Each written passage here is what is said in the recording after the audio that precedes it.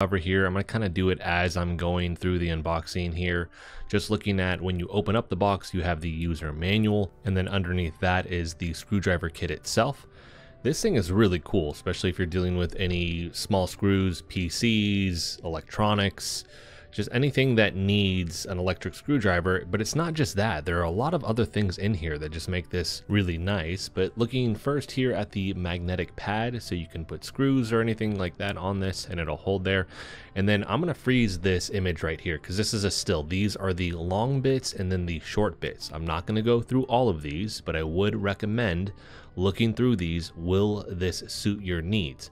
If not, as long as you make sure that the socket type can fit this, if you buy something else and it'll fit, you can expand this if you wanted to.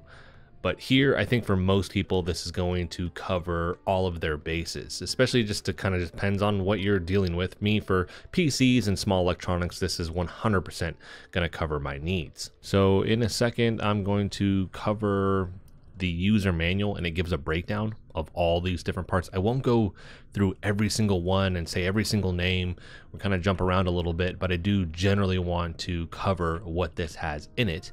But let's look at what else is in this package. We have our USB type C charging cable. This plugs into the bottom of the case and it charges the electric screwdriver. With that electric screwdriver, the input is 5 volts at 0.2 amps. Rated voltage is 3.7 volts. It is a lithium ion battery. Battery capacity is 350 milliamps. No load speed is 170 revolutions per minute, charging time approximately 160 minutes. Last in the box we have the anti-static wristband, and this is a nice touch for anybody that does build PCs or again if you're working with electronics. So now let's go ahead and shift over to a still image again of all the bits and everything that you get inside of the case. Starting on the left hand side here, you have the different screwdriver bits. All of these are made out of S2 steel. And then with this, again, just check is this going to suit all of your needs or are you going to need to get some other ones if you don't have exactly what you need here? I think for most people this is going to cover their bases but just in case.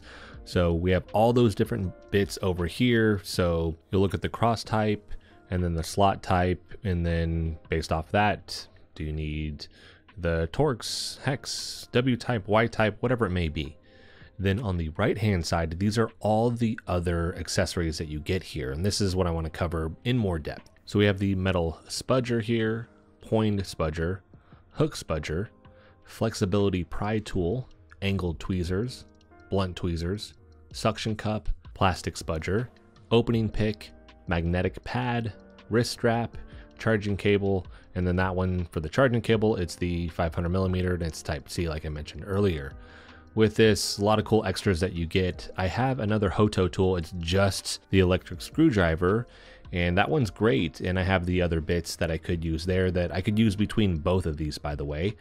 But with this one coming with all the extras, it is something that I can utilize it with more electronics, especially when I'm looking at something. I'm going to look at a controller here in a little bit, but something that needs to be pried open. I have the tools now in this kit to do that, which is great. So for me, the big draw was I get to utilize this with my PC, but also for any other electronics that do need, again, to be pried open. So now I'm just gonna look at the actual device, do want to note a couple things. You have the two different modes here. So you have one and two. These are just the differences in torque here.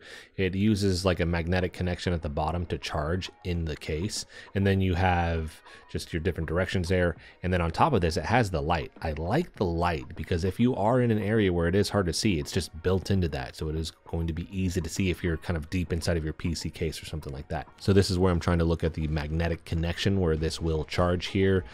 Hard for my camera to kind of focus in on it, but it is down there at the bottom. And then on the other side there, you would have the USB Type-C input. So now I'm just gonna roll through some of the things that we just covered in the manual here. So we have the opening pick. I'm gonna look at the metal spudger after this.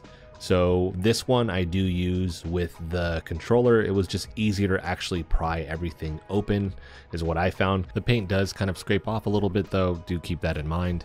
Next we have the point spudger and the hook spudger.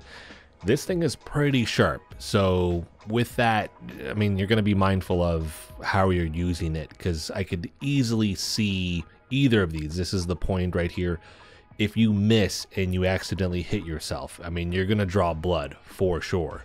I believe this is the flexible pry tool here, so a piece of metal on this that you could use to help pry something up that isn't like the plastic one, it just has a little bit more give to it. After that, we have the angled tweezers and then the blunt tweezers.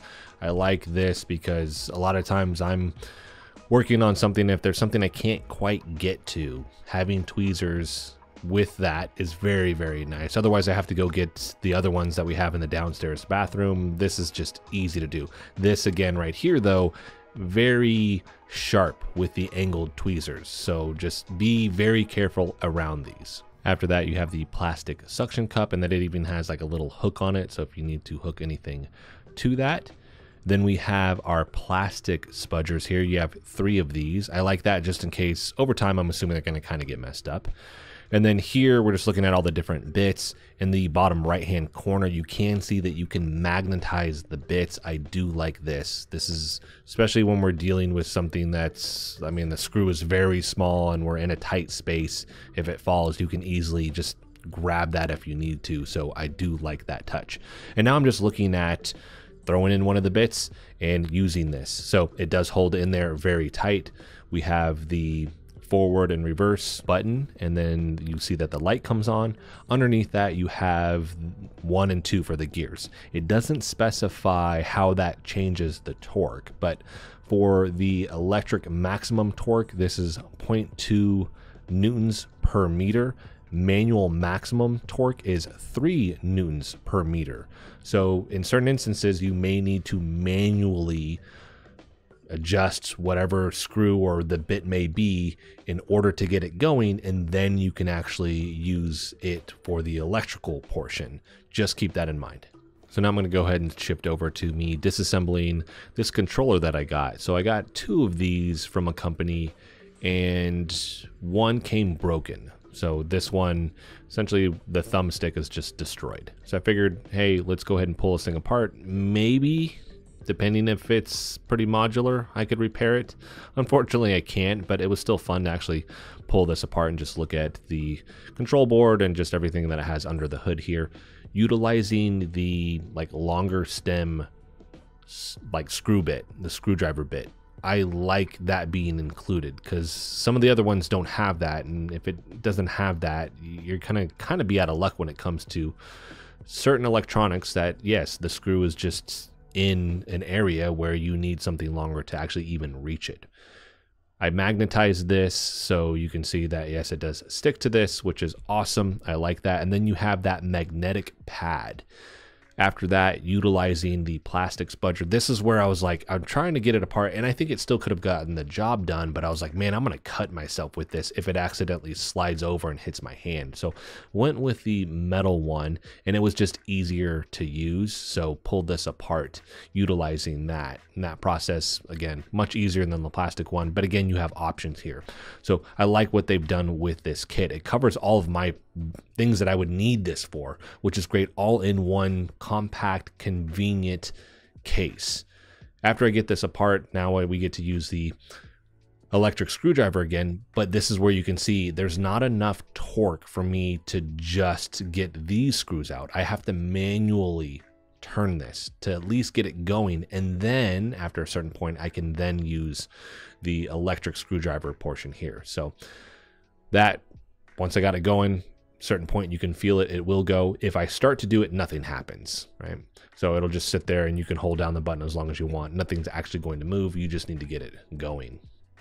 After that, utilizing the tweezers just to pull some of these parts out just to see, hey, how does this feel when trying to do that? Certain ones I end up using my hand here because it's just not quite enough force in order to fully pull this out, but moving around wires and things like that, it was great for that. Or if I needed to get some small bit out, I could utilize it with that as well.